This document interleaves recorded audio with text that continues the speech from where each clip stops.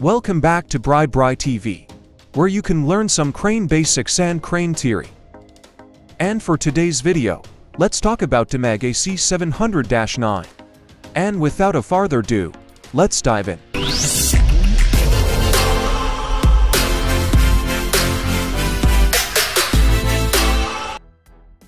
The Demag AC700-9 is a 9-axle mobile, all-terrain crane, and it has a maximum lifting capacity of 700 tons at 3 meters radius. The Demag AC700 is one of those powerful all-terrain crane that breezes through heavy-duty projects. The Demag AC700-9 is one of the longest main boom rotable within 12 tons axle limitation fast rigging and optimized transport weights. For all configurations, most compact crane carrier of all mine axle cranes. The Demag AC700-9 is equipped with a strong 5-section of main telescopic boom from 15.5 meters up to 60 meters, combined with a 96 meters maximum luffing jib, reaching a 149 meters maximum tip height. Fixed jib is also available from 20 meters up to 50 meters, with offsetable angle from 0 degree, 20 degree up to 40 degree.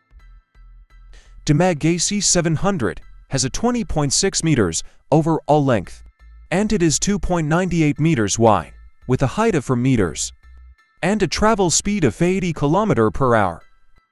This makes the AC700-9 the perfect choice for all heavy-duty projects that require not just power, but also maneuverability.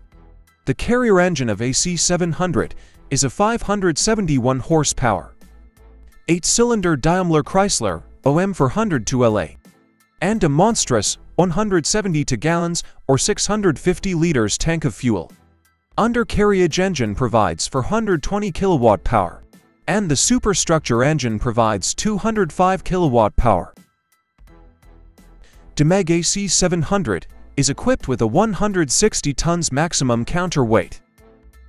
And the weight of the crane is supported by a standard star-type 12.2 meters by 12.4 meters outrigger base. Particularly advantage when it comes to lifts, requiring an asymmetric outrigger setup. The Demag AC700-9 is a true hero that refuses to give up, even when taking care of the heaviest loads out there. Kindly give us a thumbs up if you like this video. And don't forget to subscribe, hit that bell icon so that you won't miss our next video. Until next.